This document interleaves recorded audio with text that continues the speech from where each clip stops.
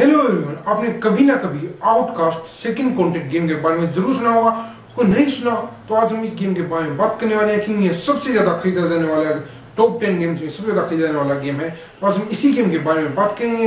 आप ये वीडियो देखते रहिए। मेरा नाम है भारत चौधरी, आप देख रहे हैं निशान बाग तो लेट्स स्टार्ट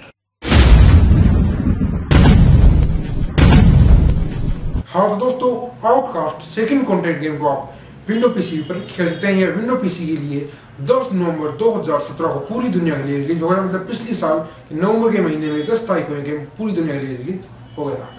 और हम इस गेम की बात करेंगे, आप इस गेम को विंडो पीसी में खेलना चाहते हैं तो आपको इसके लिए कितना पेमेंट देना होगा स्टीम वाले को कितना पेमेंट देना होगा, इस गेम को खेलने के आपको लगभग दो हज़ार दो सौ अस्सी रुपये इस गेम को खेलने के लिए आपको खर्च करने होंगे। और आप इसको गेम को अगर पीसी में खेलना चाहते हैं, उसकी सिस्टम रिक्वायरमेंट की बात करें तो इस गेम खेलने के लिए इंटेल को आई फाइव का प्रोसेसर चाहिए। दो जी बी तक आपको दो जी बी का एच डी ग्राफिक कार्ड चाहिए छः जी बी रैम चाहिए और पंद्रह जी बी तक आपको हार्ड डिस्क चाहिए मतलब गेम को खेलना हैं तो आपको एक बहुत पावरफुल सीपीयू की ज़रूरत होगी और बहुत ज़्यादा पावरफुल नहीं एक नॉर्मल सीपीयू आप गेम खेलने के लिए ज़रूरत होने वाली है। और इस गेम की स्टोरी की बात करें तो यह एक एक्शन एडवेंचर स्टोरी है। ओपन वर्ल्ड गेम है, इसके अंदर आप कुछ भी कर सकते हैं मतलब यह गेम पूरी तरह शूटिंग गेम के ऊपर बनाया गया है।